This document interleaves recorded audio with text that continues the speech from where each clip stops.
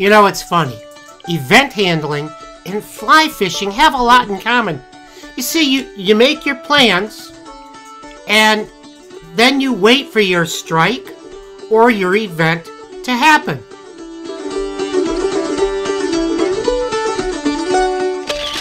Events are the key to making your websites interactive. You decide which events to monitor.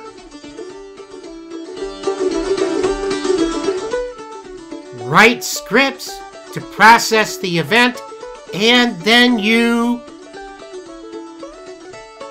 wait.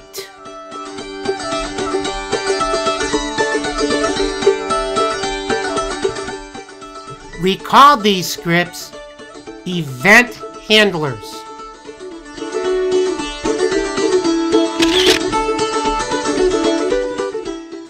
Let's update a web page to welcome our visitors.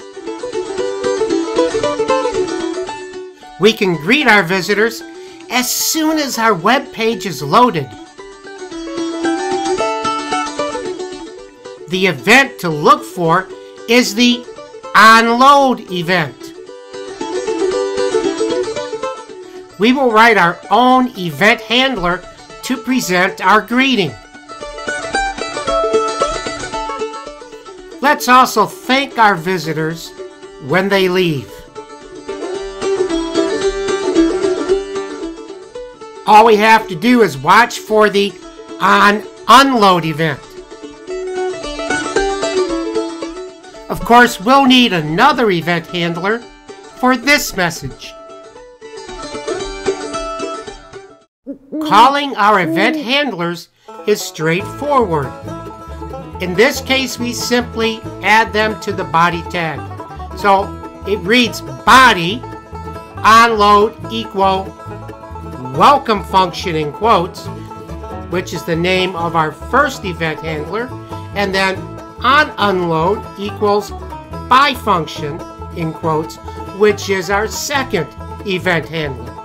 This is our first event handler, welcome. And what we are going to do is to create an alert box that simply says story and illustrations by Bonnie Sorensen. This is our second event handler called Bye. And all we're doing here is again creating an alert box that says watch for old monkey face Joe in your neighborhood.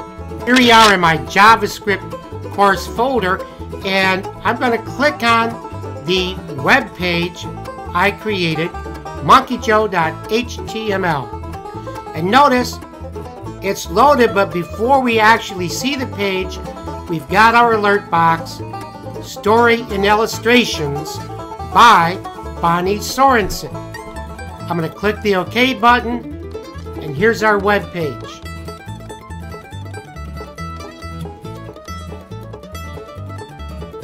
And it's just a brief story that my wife wrote about a dear friend of ours and our great niece.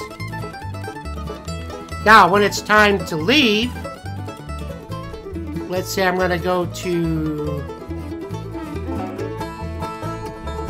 apple.com.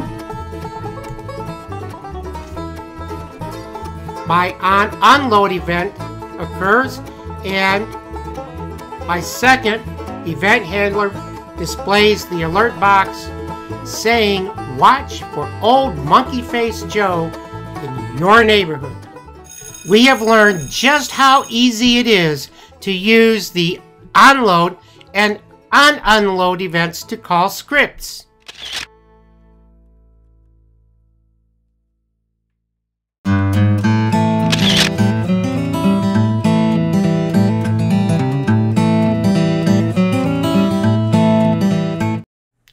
Talk to me about your training needs.